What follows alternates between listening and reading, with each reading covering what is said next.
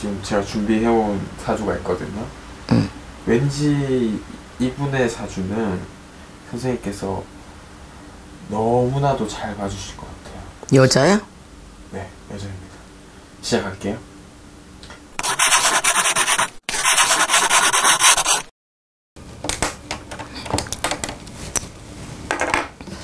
허 냐다 구여이 보십시다. 천지운근이를 몸에다가 도다 가루를 대라는 사주가 분명합니다.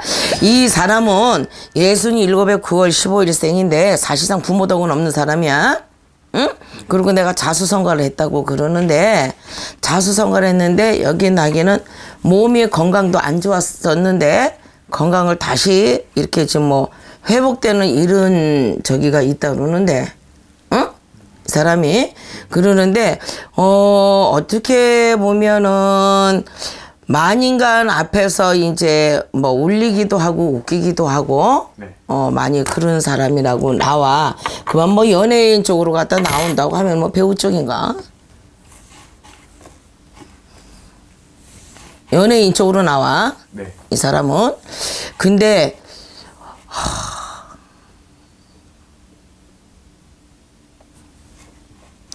말하자면은 배우도 될 수가 있는 거고 무슨 뭐 이 노래를 할 수도 있는 거고 이러는데 두 가지 저기 이 사람은 직업을 갖고 살라는 사람인데 응?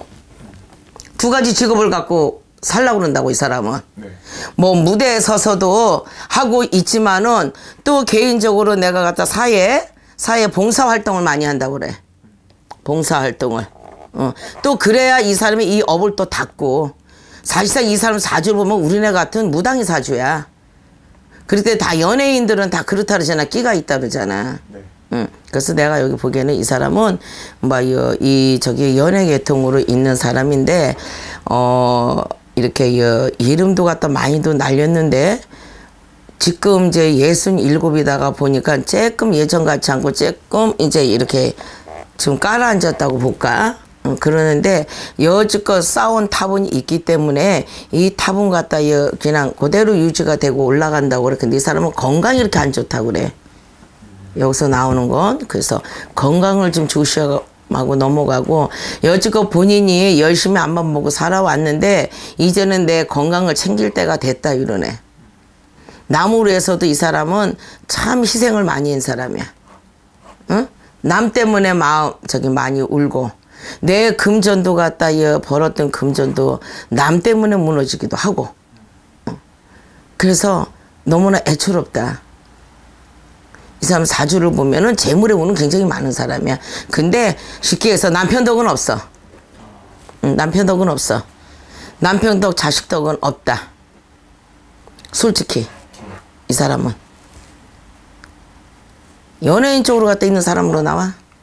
네, 연예인 맞습니다. 응. 누군데? 조금만 더 들어볼게요. 고생은 많이 하고 이랬는데 일으켜 세운 것도 많아. 이 사람이. 그러는데 지금 내 명예를 갖다가 계속 얻어서 왔는데 이거를 계속 복귀를 해야지 되겠다는 이런 저기가 나오는데 여기 할머니들이.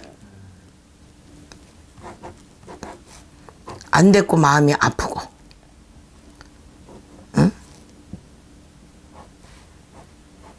마음고생을 많이 했고 동기간 형제들이 있다 그래도 이 사람이 발벗고 나서 다 헤어지는 사람이고 메고 윗톱에서 아랫톱 메고 희생양으로 여지껏 살아왔으니까 이제는 자기에 더불어서 좀 자기 인생을 살아야지 되지 않을까 그렇게 나와 응.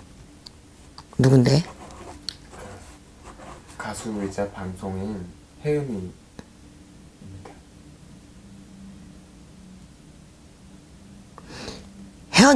일곱이야? 네. 그렇게 나이 먹었어? 나는 50대 같아. 재물은 운은 많은데 남편 덕이 없다고 그래. 그래서 이제 본인의 이제 이 명예를 얻어서 이제 이 본인을 위해서 좀 살라고 그래.